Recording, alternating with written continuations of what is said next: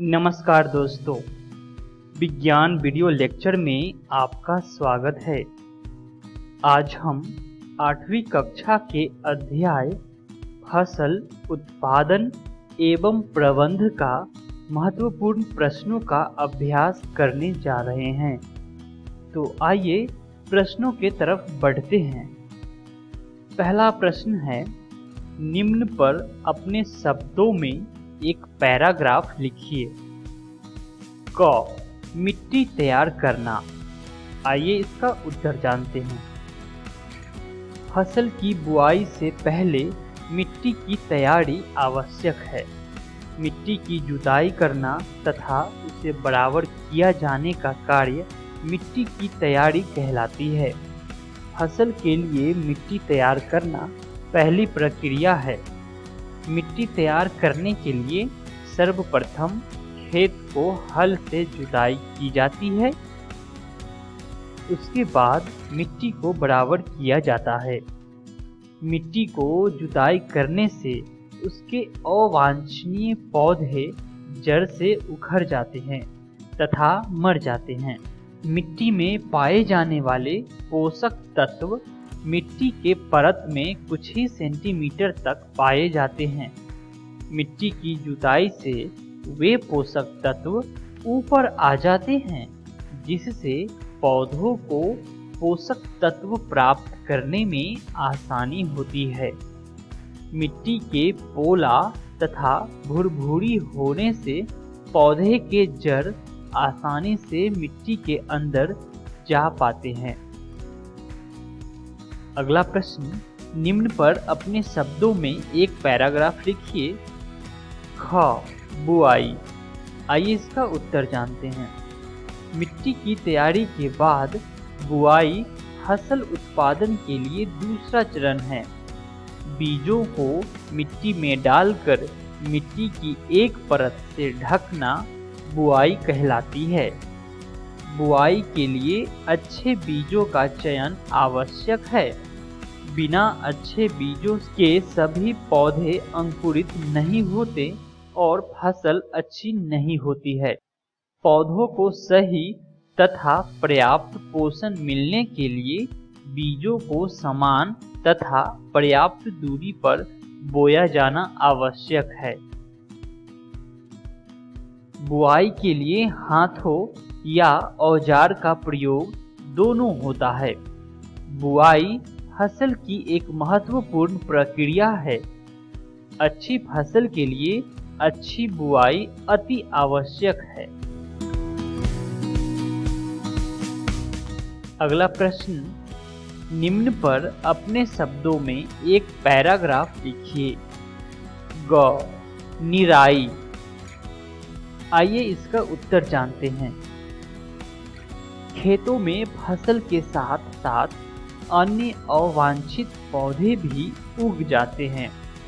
क्योंकि ये पौधे पोषक तत्व प्राप्त करने में मुख्य फ़सल से प्रतिस्पर्धा करते हैं, इसलिए इन्हें अवांछित पौधे कहा जाता है। इन अवांछित पौधे को खरपतवार कहा जाता है। खरपतवार को खेतों से हटाने का कार्य निराई कहलाता है। निराई प्रायः हाथों से, खुरपी आदि की मदद से की जाती है। निराई में खर पतवार नाशी, जो एक रसायन है, का छिड़काव कर भी खर पतवार को हटाया जाता है। अगला प्रश्न, निम्न पर अपने शब्दों में एक पैराग्राफ लिखिए। घ थ्रेसिंग आइए इसका उत्तर जानते हैं। फ़सल तैयार होने तथा कटाई के बाद दोनों तथा भूसे को अलग करना थ्रेसिंग कहलाता है। छोटे किसान अनाज के दानों को फटक कर अलग करते हैं। दानों को भूसे से अलग करना विनोइंग कहा जाता है। कॉम्बाइन मशीन हार्वेस्टर तथा थ्रेशर का संयुक्त रूप है। आजकल फ़सल के पक जाने के बाद कॉम्बाइन मशीन द्वारा दानों तथा भूसे को अलग किया जाता है। भूसे तथा दानों को अलग करने के लिए फटकने का काम हाथों द्वारा या थ्रेशिंग मशीन द्वारा किया जाता है। अगला प्रश्न, स्पष्ट कीजिए कि उर्वरक खाद से किस प्रकार भिन्न है। आइए उत्तर जानते हैं। उर्वरक का उत्पादन प्रयोगशालाओं में होता है।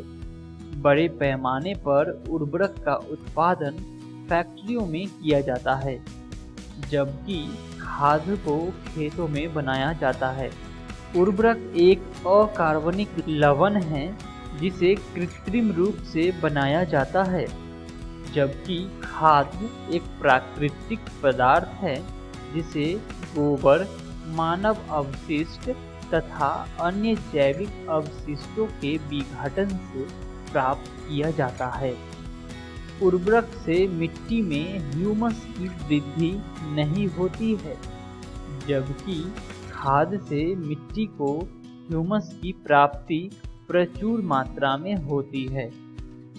उर्वरक में पौधों के लिए आवश्यक पोषक तत्व यथा नाइट्रोजन, फास्फोरस आदि प्रचुर मात्रा में होते हैं, जबकि खाद में पौधों के लिए आवश्यक पोषक तत्व तुलनात्मक रूप से कम होते हैं।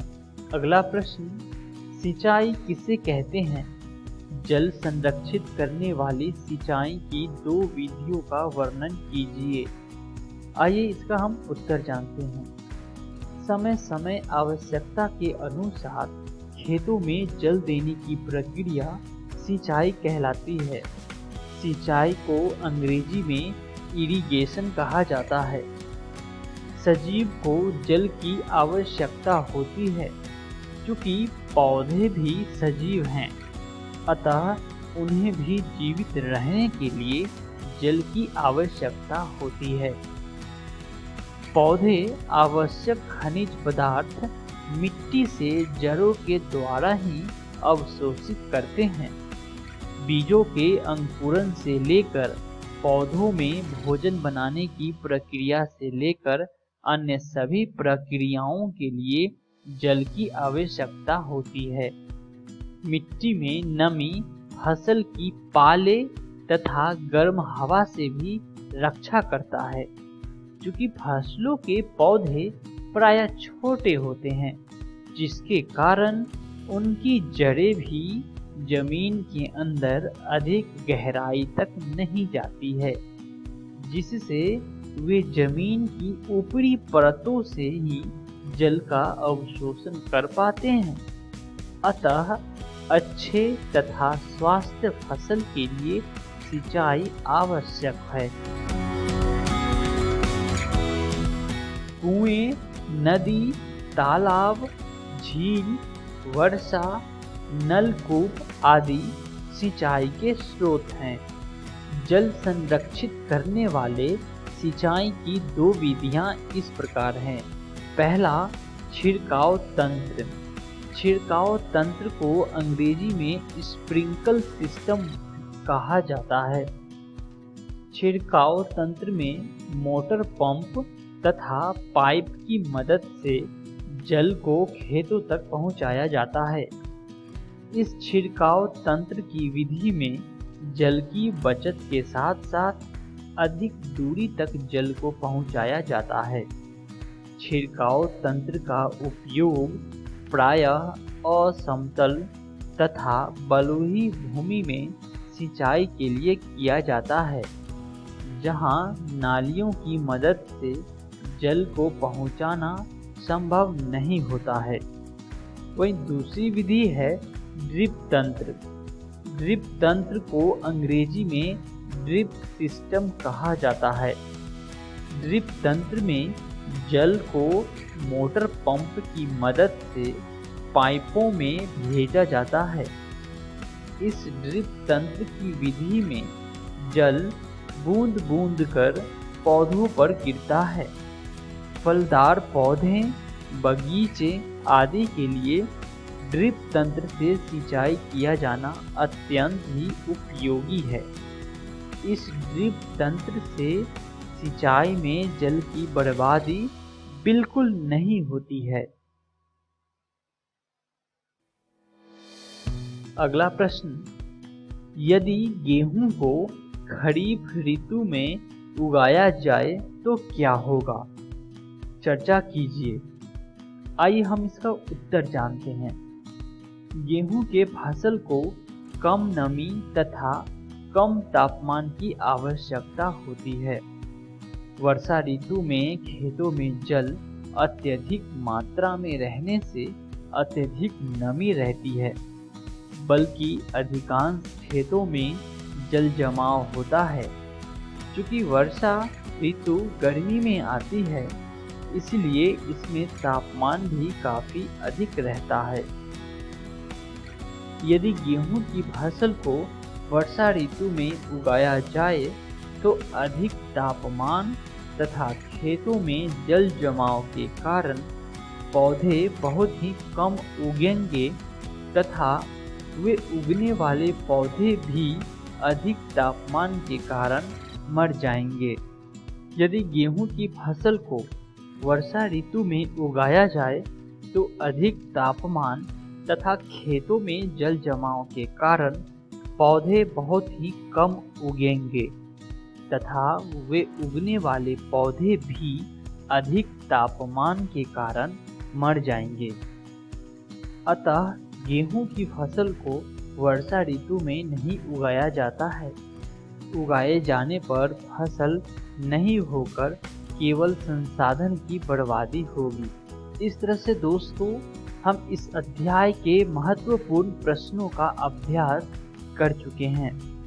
आशा करता हूँ कि आप सभी को आज के सारे प्रश्नों का उत्तर अच्छे से समझ में आए होंगे।